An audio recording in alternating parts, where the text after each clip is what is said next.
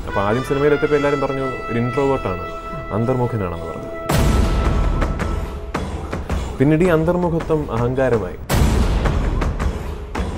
ഇപ്പോൾ അതേ അഹങ്കാരമാണ് ചങ്കൂറ്റമായിരിക്കും எதிரில் வா எதிர்படும் நொடியில் தலைகள் சிதறவா விரட்டி வா விரட்டிடும் விரட்டில் பகைகள் கதறவா அழிக்கவா ஒழிக்கவா தீய ഇരുപത് വർഷത്തിന് ശേഷമുള്ള പൃഥ്വിരാജിനെ കുറിച്ചുള്ള ചിത്രം താങ്കൾക്ക് തന്നെ ഒന്ന് പറയാം.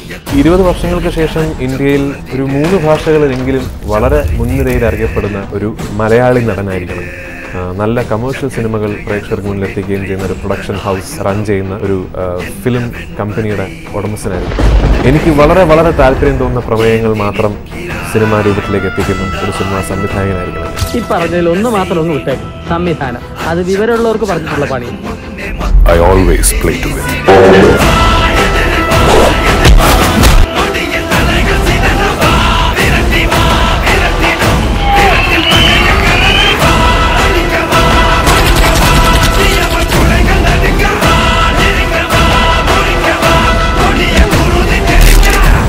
എന്റെ അച്ഛന്റെ ഐഡിയോളജീസിന് ചീത്ത പേര് വരുത്താതെ ജീവിക്കുന്ന ഒരു വ്യക്തിയായിരിക്കണം. എന്റെ അമ്മയ്ക്ക് ഒരു നല്ല മകനായിരിക്കണം. ഒരു നല്ല കുടുംബസ്ഥനായിരിക്കണം. ഇനി ചെയ്യേണ്ടത് ഞാനാ. ഞാൻ മാത്രം. ഇതൊരു ഫിലിം മേക്കർ അകത്ത് ഒളിഞ്ഞിരിപ്പുള്ള ഒരു ആക്ടർ അപ്പൊ അങ്ങനെ ഒരു ആക്ടറിന് ഒരുപാട് കാര്യങ്ങൾ പറയാതെ തന്നെ കിട്ടും.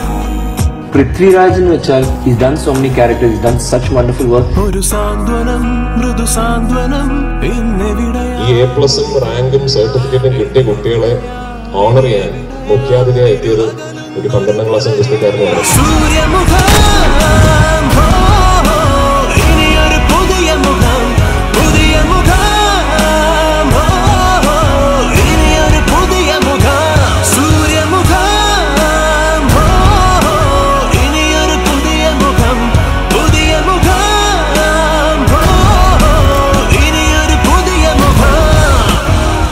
एक इशारा भाईजान। बस एक इंतज़ार रहेगा।